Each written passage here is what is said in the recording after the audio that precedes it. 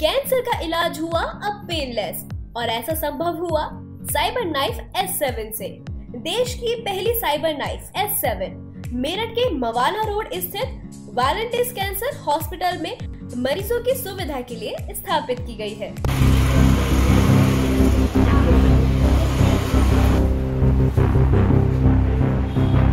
हो गई हो गई।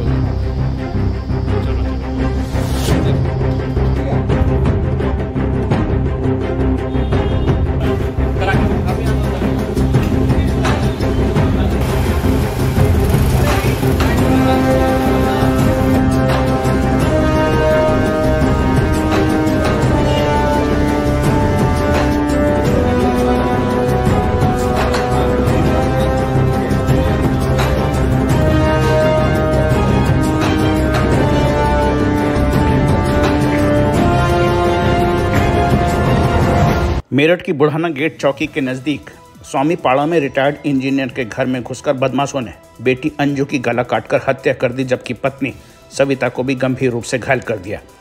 हत्या को अंजाम देने के बाद बदमाश घर में रखे जेवरात व कैश लूट कर ले गए। इस लूट व हत्याकांड का खुलासा उस वक्त हुआ जब छोटी बेटी डॉली घर पहुँची।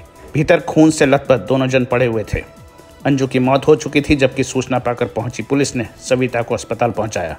इस लूट व हत्याकांड की जाँच के दायरे में वह तीन पुताई करने वाले भी हैं जो वहाँ काम कर रहे थे लेकिन तीनों ही आज नहीं आए थे।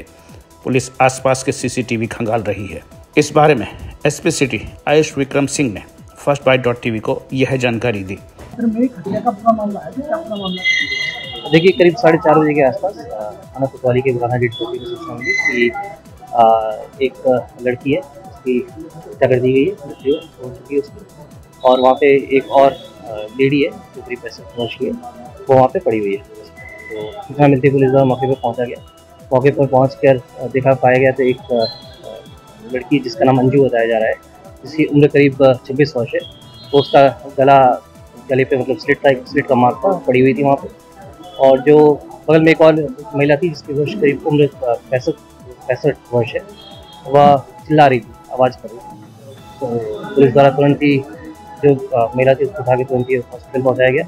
अ, रास्ते में ही उसके द्वारा बताया जा रहा था कि जब थोड़ा बहुत हमने पूछा कि किस क्या हो गया कैसे क्या क्या क्या हुआ है तो उसके द्वारा बताया गया कि उसने ही ये किया है किसी और ने नहीं किया है। प्रथम दृष्टिया ये आपस में मारपीट का मामला नज़र आ रहा है।